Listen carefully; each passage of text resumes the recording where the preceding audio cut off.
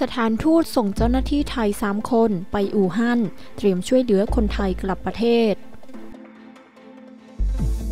สถานทูตส่งเจ้าหน้าที่ไทย 3 คนไปอู่ฮั่นเตรียมช่วยเหลือคนไทยกลับประเทศ คาดเดินทางถึงอู่ฮั่นในวันพรุ่งนี้ เตรียมนำคนไทยออกจากพื้นที่ เมื่อวันที่ 1 กุมภาพันธ์นางนฤมลพินโยสินพัฒน์โฆษกประจำสำนักนายกรัฐมนตรีเปิดเผยว่า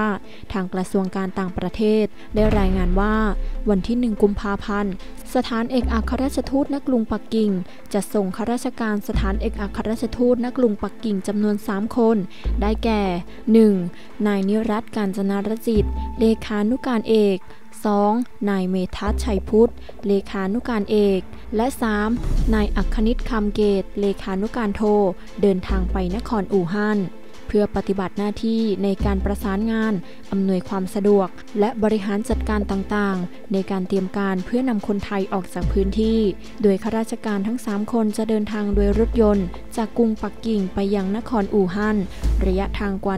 1,200 กิโลเมตร ใช้เวลาในการขับรถประมาณ 14-15 ชั่วโมง โดยคาดว่าจะถึงนครอู่ฮั่นในช่วงเย็นของวันที่ 2 กุมภาพันธ์ และจะปฏิบัติหน้าที่ในพื้นที่จนกว่าจะเสร็จสิ้นภารกิจ ทั้งนี้เมื่อข้าราชการข้างต้นเดินทางกลับ หลังจากปฏิบัติภารกิจเสร็จเรียบร้อยแล้ว จะมีการดำเนินการตามมาตรการป้องกัน และควบคุมการแพร่ระบาด ที่ทางการจีนกำหนดโดยเคร่งครัด ซึ่งรวมถึงการตรวจร่างกาย และการกักกันพื้นที่ เพื่อเฝ้าระวังอาการเป็นเวลา 14 วัน ขอขอบคุณข้อมูลจากเว็บไซต์ข่าวสดออนไลน์ คนอ่านข่าวขอบคุณค่ะ